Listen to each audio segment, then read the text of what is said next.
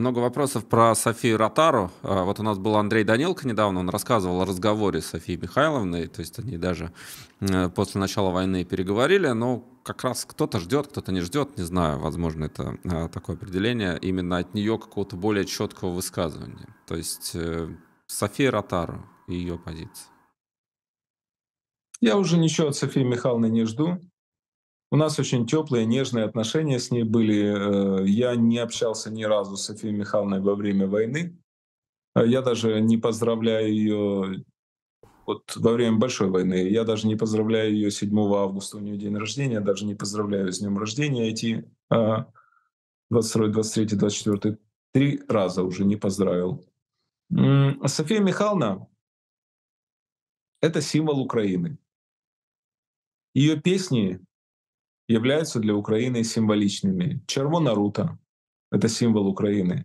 Одна калина — это символ Украины. Песни Ивасюка и Поклада, спетые ей, это символы Украины, Мозгового. София Михайловна — это часть Украины. А, София Михайловна — это Украина. И, конечно, в моем понимании 24 февраля 2022 года София Михайловна должна была выступить и сказать в адрес русских фашистов, Путина и всей этой нечисти, будьте вы прокляты за то, что вы напали на мою страну.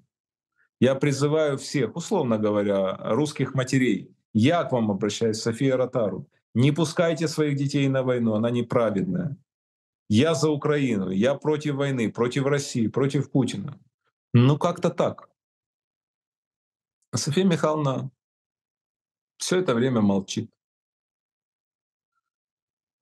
Но это ее право говорить или молчать.